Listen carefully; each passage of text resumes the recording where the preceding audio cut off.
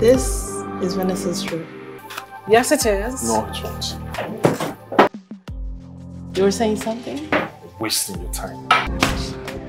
What was that stunt you pulled last night? We can't just give up after we've come this far. Th- There's a plan B. No, there is no plan B, okay, Doris? You're obsessed with this thing. You need to let go. I can't let go, okay? Are you seriously going to let another lady take your place in my life? Femi, look, I know what I'm doing. No, you don't! This is not going to happen, and I am not going to go through with it. Take it easy.